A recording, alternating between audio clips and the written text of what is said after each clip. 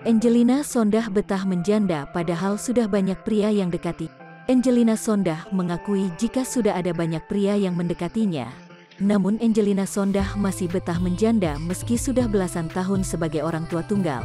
Bukan tanpa alasan, ternyata banyak pria yang mendekati Angelina Sondah tidak bertahan. Kemungkinan itu karena Angelina Sondah yang pemilih. Hal tersebut terungkap saat ia menjadi bintang tamu dalam siaran Alvin in Love.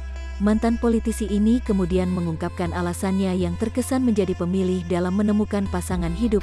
Lebih lanjut, ibu satu anak ini juga memang tidak ingin buru-buru menikah lagi setelah kepergian Aji Masaid pada 2011 lalu. Menurutnya, ia juga masih belum yakin bisa memberikan perhatian sepenuhnya pada pasangan.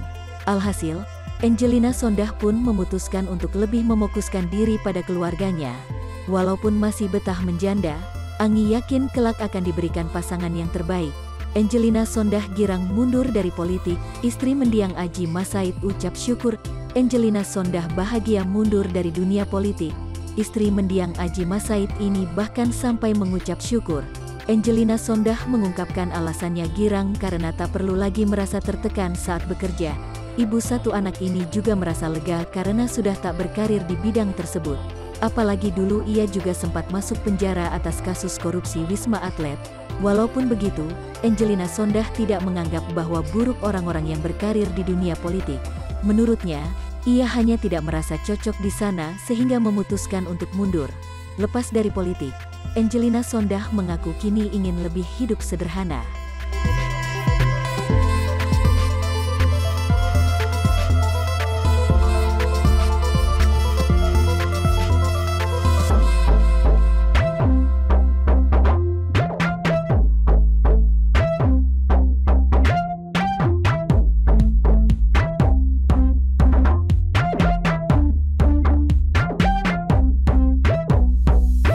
Download Tribun X sekarang.